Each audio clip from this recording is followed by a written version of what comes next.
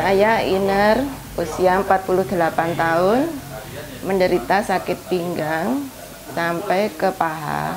Setelah saya periksa ke dokter, disuruh periksa lab, hasilnya infeksi saluran kencing. Dikasih obat, sembuh, tapi kadang-kadang juga kambuh lagi. Kalau sudah kambuh rasanya tidak tahan. Kemudian saya menemukan, mengenal soman di apotek tempat kerja saya. Saya coba minum, pertama kali saya minum 7 tetes. Ada perubahan walaupun sedikit.